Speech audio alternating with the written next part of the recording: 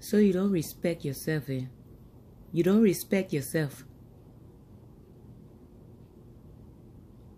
You keep calling your friend in all kinds of weird hours, and you the married one.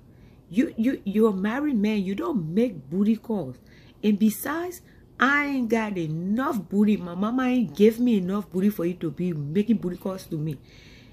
I have seen your I have seen your wife's booty.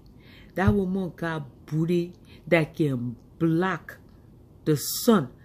But if that woman come outside, if your wife come outside with the size of the booty that she got, the sun will have an eclipse. And so if you want to make booty calls, you need to be calling your wife because she got way too much. Eh? It takes three, four to five of one of my butt cheeks to make one of her butt cheeks.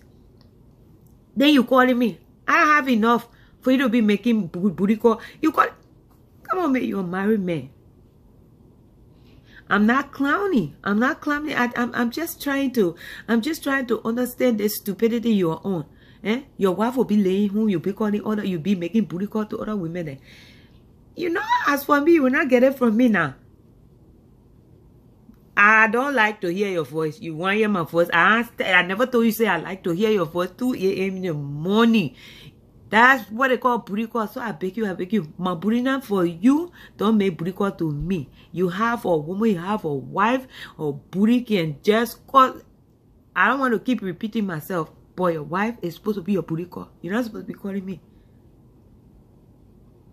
Yes, it is a booty call. It is a booty call.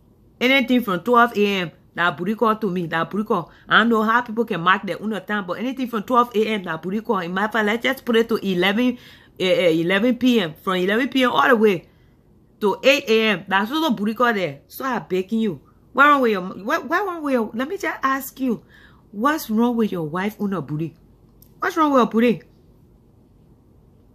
But then what is your problem? Why you can't make booty call to your wife? Is her booty fake? Eh? Ah, but you acting like your wife got silicone booty. You acting like her, her booty not real. That silicone booty, why don't you just tell me the truth tonight? Your wife booty, that silicone booty?